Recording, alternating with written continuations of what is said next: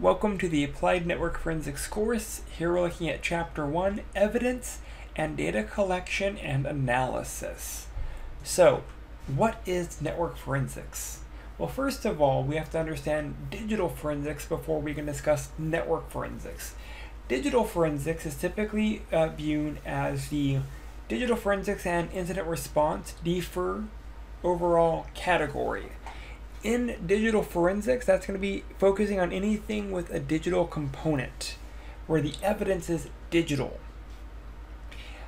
Digital forensics has multiple silos, multiple branches for the different uh, disciplines of specialized forensics, like memory forensics or hard disk forensics or network forensics there's a plethora of other types of uh, digital forensics, but those are the major ones. So, digital forensics has those multiple branches. We're focusing on the sub branch for networking forensics. That is going to be anything that has the source of evidence being tied to the network. So, what's the purpose? Why do we care about network forensics? As our devices have started expanding that communication platform that interconnects all of the devices has also grown. That means we need to understand how to collect data based off of the sharing of information between multiple devices. That is why we study network forensics. So some basic assumptions for this course. The assumption is that you have at least the basic CompTIA A plus Network Plus type understanding. You understand how PC works, you understand how basic communication works, you understand the seven layers of the OSI model, and that you can move, you understand conceptually how data moves between one device to another device. There are some basic hardware requirements also. We have to make sure that you have the ability to install the tools necessary for this course. Things like Wireshark, Network Miner, and a few of the other analysis tools. So, that covers the, the basics on how to get started. So, what is evidence? And this is important because this is the key of everything that we're doing. We are essentially collecting evidence. Evidence is often defined as something that tends to establish or disproves a fact.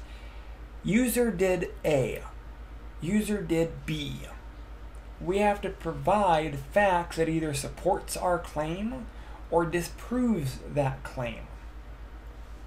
Since we are talking the legality of proving or disproving facts, we have two big terms when uh, dealing with this inculpatory and exculpatory. And essentially, inculpatory basically says that we have directly supporting evidence stating that we can prove that a fact is a fact. Exculpatory means the opposite. We have evidence that you could not have done it. We have a few types of evidence classifications, and that is whether it be testimonial, it could be uh, physical, something that's more tangible, or it could be digital evidence. Most of what we're focusing on in this class is digital evidence. The main types of digital evidence are going to be things like fixed disk or removable, memory or, or RAM, logs. Network traffic is going to be the focus of our digital evidence for this course. We're going to talk a little bit about logs, but most of what we're focusing on is the uh, network traffic analysis. So again, let's talk about the purpose. Essentially, network forensics, when we're collecting the data, we're being asked some answers some basic questions. Who, what, where, when, how. Those are our big ones. So we can get some general type questions like who perpetrated the act that we're trying to force, that we're trying to source. Are there any attributes of their attack? If we say that user A sent an email, can we prove that user A sent that email? Can we see what they've done? Could we see when they did it? Could we see how they did it? in the email example, we should be able to, we're capturing network traffic, we should be able to see the emails being sent, SMTP. We should be able to see when it happened, when it occurred, where it went to. There should be artifacts, there should be a digital footprint of the data that was sent. All of that is going to be on the wire. On the wire is just a clever way of saying on the network. So some basic common methodologies for data collection is you have to have people that are ready. So when we say common methodology for data collection, here we're talking about the individual person. They have to be prepared. They have to understand how to gather information. They need to understand basic human nature. They have to be ready to act. They have to have a basic understanding of technology. And the individual, the investigator, needs to have some basic deductive reasoning skills. So when we say preparation, what does that mean? Essentially, that means we have the investigator that understands the process that we're going to be going through. They understand how to gather information. They understand how to verify the gathered information and to gather it in such a way where it is not contaminated. They've been trained appropriately and they know what they're doing. That is going to be the basic methodology for data collection. And again, this is focusing on the investigator, not the actual process that they're going to use. An important part here, when we're talking about the investigator, is the deductive reasoning skills. That's not to be compared with inductive reasoning. They have to be deductive. We need to be able to take a general statement and narrowly focus it down using a logical process to a not general conclusion. We should be able to have a narrowly focused deduction um, conclusion based off that deductive reasoning. It should not be a general statement. It should be able to narrow it down. So, how do they, the investigators, process evidence? How do they actually go through and verify that they're doing it correctly? There's multiple ways, and in our reading, we have a few that we're going to discuss. The first one is TARA. And with TARA, that's trigger, acquire, analysis, report, and then action. So essentially, something had to trigger the investigation. And we haven't really talked about triggers, that's actually part of chapter 2, is what begins the investigation. But that's the thing, there is a formalized process that has to occur for the investigation to begin. Next, we have to acquire, that's going to be where data collection occurs, evidence collection occurs. We collect as much evidence as possible, and then we will analyze the collected evidence. We will generate a report and we, using the TAR sequence, will then give a plan of action. What do we do? And again, that could be part of the reporting uh, aspect, but it just kind of depends on the situation. Another very common one is OSCAR. And that is, again, you're going to notice the same general steps. Obtain information. That's going to be prior to data collection. This is going to be more of a understanding what triggered the event. We're going to strategize, prioritize. We know, for an example, we can know that we are investigating a individual that is being accused of violating company policy about instant messaging and transferring of files. So that means we're going to brush up on the protocols used for transferring of files. We will strategize, we'll prioritize what we're going to be looking for. Maybe setting a timeline. Narrowing that timeline based off of our initial investigation. That is when we can start the collection, the collecting of evidence, the data collection portion. From there, we can analyze what we've collected, then generate a report. You'll notice here, the last step is report, because we're not giving a plan of action, we're showing either we're supporting our claim or not supporting our claim. NIST has their own general DFIR process, that's identify, process, analyze, report. You're going to notice that the common processes are always going to be the same, which is essentially identifying, process, that's going to be where data collection occurs, analyze what's been collected, make a report based off of what you found in the collected data. The general or more common sense of what we're doing is we're trying to figure out the W's. Who, what, when, where, why, and how. That, that's the overall general process of what we're trying to accomplish. So where can we pull network evidence from? Well, we can tap the wire, the physical connection. We can pull it out of the air, wireless. We could be looking at a switch's cam table, looking at MAC addresses. We could be looking at a router's routing table.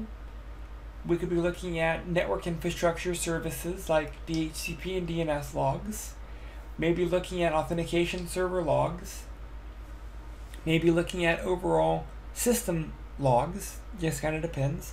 Looking at security appliances like IDSs, IPSs, or firewall logs. Or we could even be looking at proxy server logs.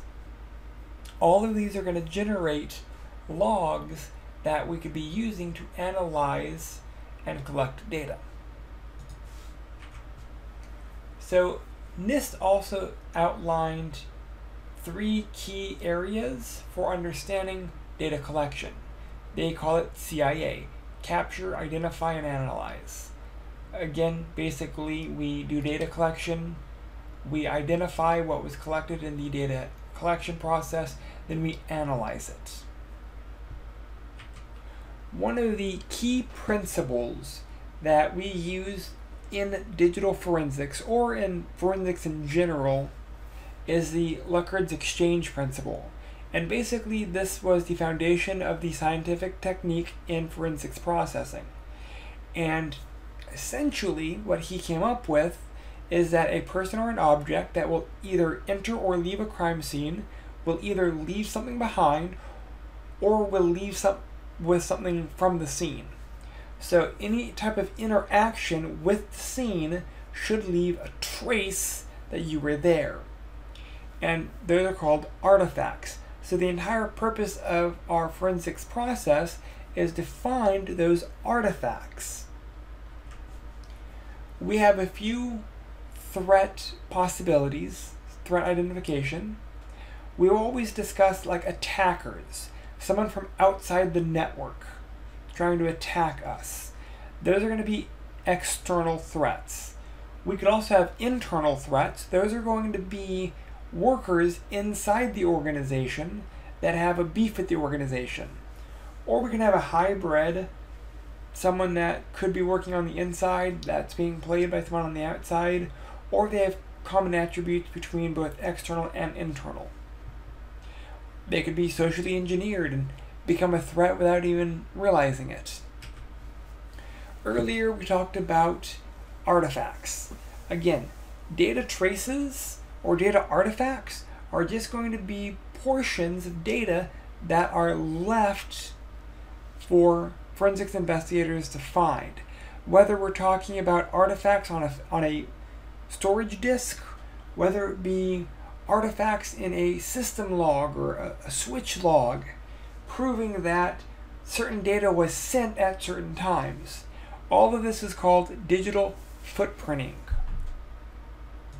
So how does one of these threats actually exploit the network? Well, networks have vulnerabilities.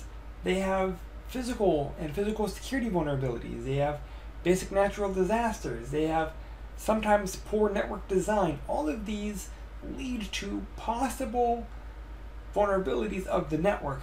Even just having humans play a part of the network provide a certain level of vulnerability to that network. One of the big ones is standards, procedures, uh, policies. Those actually are the big ones tied with people that create these vulnerabilities because we may think that we're safe, but in reality we're not because we don't have the appropriate policies and procedures to protect us. So, moving on, we have three best practices for evidence handling chain of custody. So, when data is collected from the scene to the court, we have to prove that who had access to that data. We have to make sure that the data was not manipulated or changed or altered in some way. We have to prove the integrity of the data. We have to show that we picked up evidence A from the crime scene and we were able to analyze it, again, proving the chain of custody, who had access to it the entire way through the system, all the way up until the court date. We can also uh, provide verification of certain digital evidence by providing hash validation. Hashes are a one-way algorithm that verify the data integrity of a system or piece of data or other objects. Hashing is, should be unique so that no hashing of two items can yield the same hash value.